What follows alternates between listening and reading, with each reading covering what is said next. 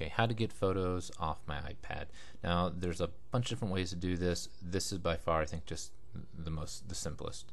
Uh, so here's my iPad photos, and I'm specifically looking at camera roll. Okay, um, these are pictures that were taken from my iPad.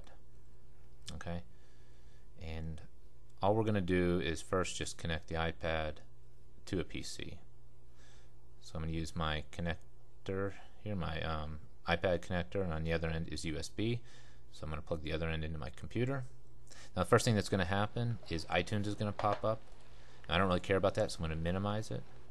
I'm going to go to, this is Windows 7, so I'm going to go open up uh, Windows Explorer here.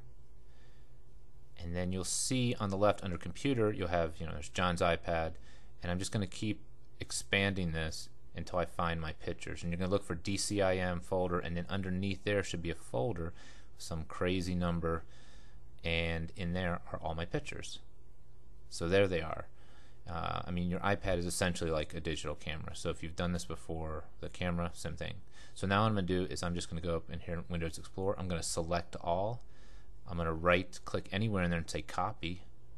And then I created a folder on my desktop called uh, iPad Photos. I'm just going to open it up, right click, hit paste, and it's going to move all my photos from my camera roll on my iPad to my computer. And that's it. Now there's a bunch of other ways you can do this.